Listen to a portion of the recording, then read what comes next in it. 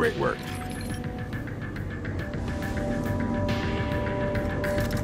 One tendril of the Vex Surge has been severed, but their presence here still grows.